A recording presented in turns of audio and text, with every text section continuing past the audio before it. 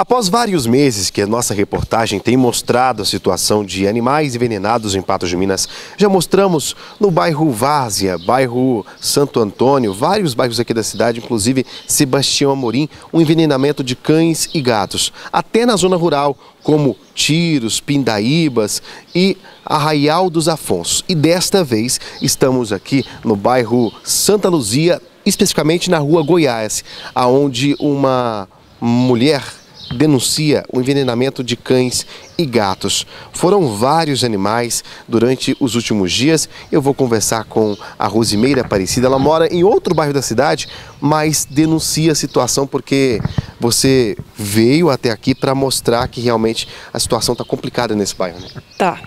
Não só aqui no bairro, né? No Vila também.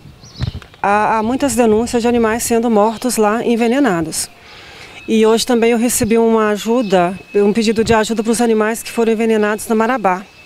Inclusive o animal já morreu, né? É, a gente não conseguia ajudar porque o animal infelizmente veio a óbito antes de, socorrer, de socorrer ele. O que eu peço, né, é a polícia ambiental que ajuda a gente, sabe, a, a fiscalizar. E, e, o mais importante, eu acho assim que nem é prender essas pessoas, mas o mais importante é, é, é conscientizar a população em relação aos animais né?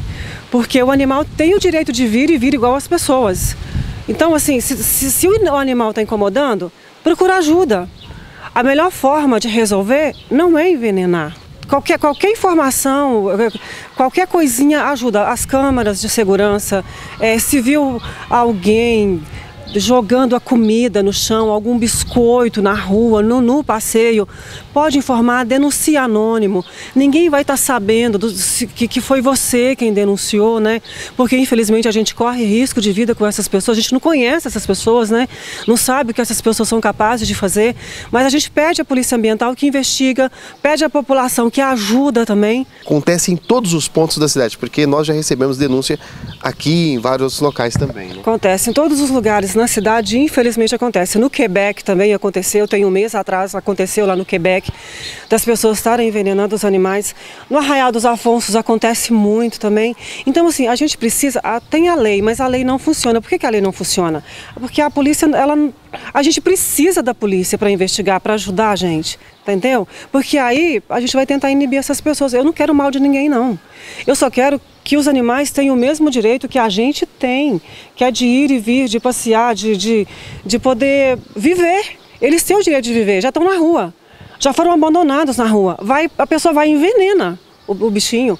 O bicho não tem culpa de estar na rua, porque o certo não é envenenar. O certo não é pôr no saco de lixo jogar no, no, no rio. O certo não é pôr no saco de lixo jogar fora.